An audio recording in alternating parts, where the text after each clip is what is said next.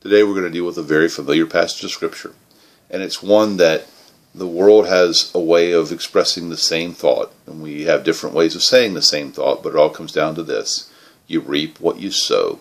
The things you do today are going to affect your life long term, today, tomorrow, and in the future. Make good grades in school, it's going to lead you to a good college, it's going to lead you to a good job, it'll lead you to a life of success.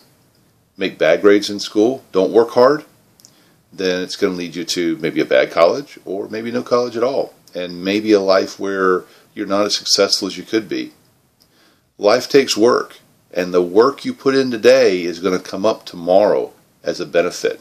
A farmer plants crops. He then will water those crops. He'll then cultivate those fields, and as he does, it makes those crops grow. The same thing's true in your life. The things you do today are going to come back and see you tomorrow. Be careful how you live today and be careful the decisions you make today. They're going to have implications on your life tomorrow.